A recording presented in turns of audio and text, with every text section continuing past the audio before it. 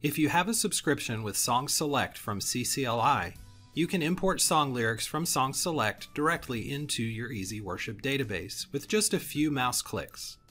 Easy Worship comes installed with 223 public domain songs.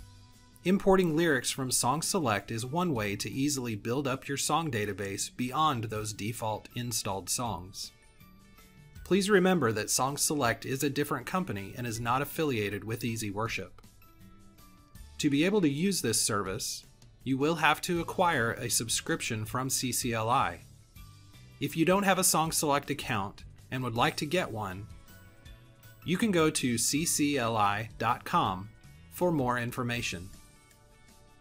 Once you have a Song Select subscription, to import song lyrics into Easy Worship, open Easy Worship and click the Web button on the toolbar, and you'll see a web browser open up to our Welcome Center.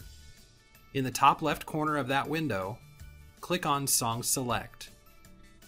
Click Sign In at the top of the page and enter in your username and password. Then click Sign In. You can click in the search box to find your song, or you can look at the top songs available at the bottom of the page. I'll go ahead and search for the song called King of My Heart.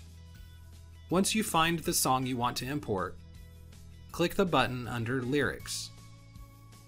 To be able to import the song lyrics into your Easy Worship database, you have to be on the lyrics page of the song.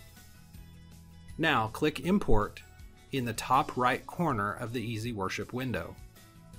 You can look in your Songs tab and see that the song is now saved in the database and is available to use.